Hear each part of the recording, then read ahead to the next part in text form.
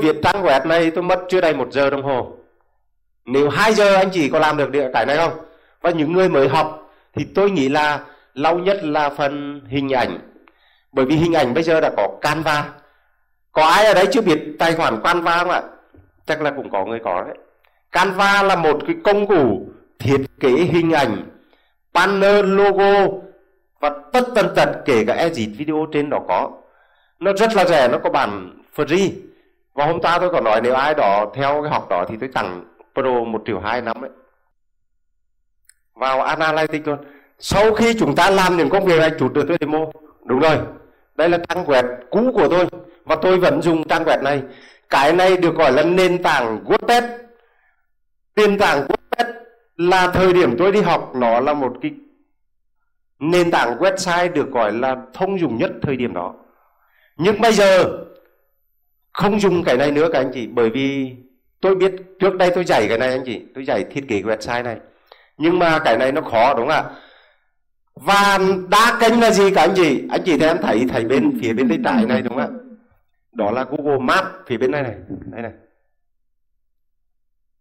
Email cuộc gọi auto và Zalo Viber và cuộc gọi nhưng nền tảng web này không gọi điện được tự động trên đó. Nếu đang dùng điện thoại click vào thì gọi được.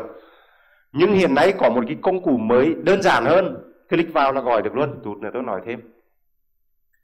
Còn cái form mà để tự động hóa thì ở bên này các anh chị.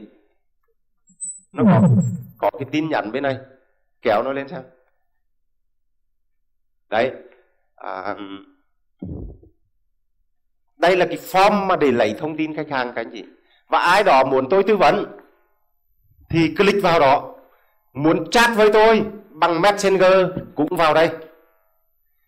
Click tên vào, thử tên trên cùng. Viết một vài dòng ok hay là cái gì đó cũng được, demo thôi.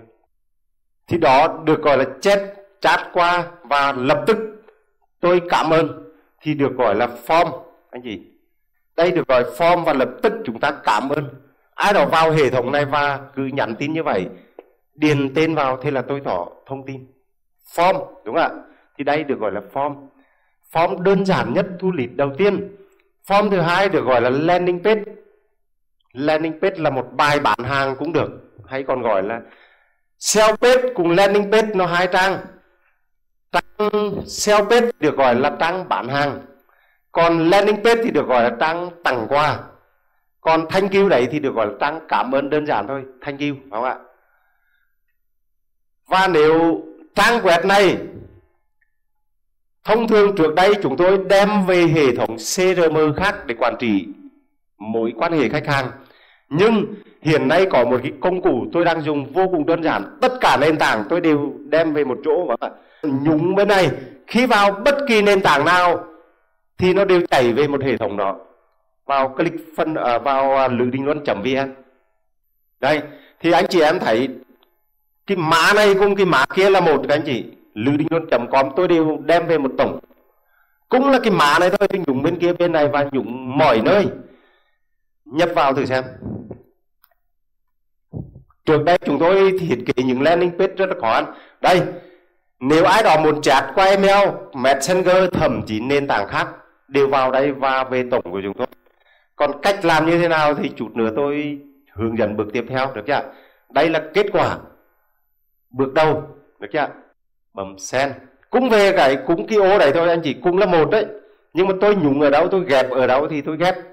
Rồi, thế là vào hệ thống của tôi đấy cả anh chị.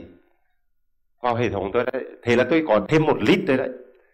Cách này cũng là một cách, một đơn giản hóa mọi thứ nỗ lực đi tìm cái cái đơn giản nhất có thể thì tôi dạy được học viên tôi và nhân viên tôi làm dễ nhất có thể. Trước đây cái cái này chỉ rất là khó khăn cho chúng tôi đi học. Đầu tiên phải là làm những cái công việc gì ạ?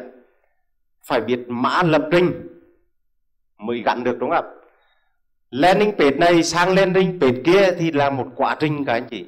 Bởi vì những người không giỏi về công cụ công nghệ giống như tôi ấy, nó khó khăn vô cùng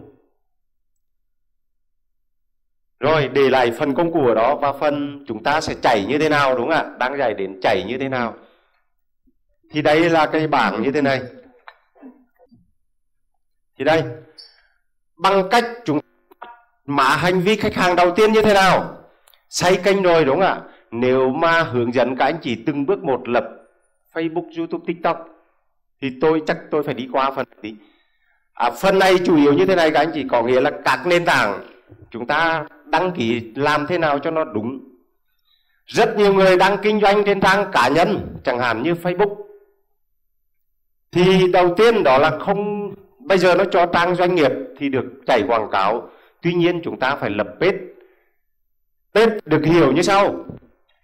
Đầu tiên chúng ta tạo một trang cá nhân uy tín, phải không ạ? Facebook bây giờ đang dùng đó là trang người dùng, thì được gọi là trang cá nhân trên này bây giờ nó cho bán hàng, nhưng mà cho bán hàng, cho quảng cáo rồi. Nhưng quảng cáo ví dụ như chẳng hạn rằng Facebook bán hàng cá nhân, marketplace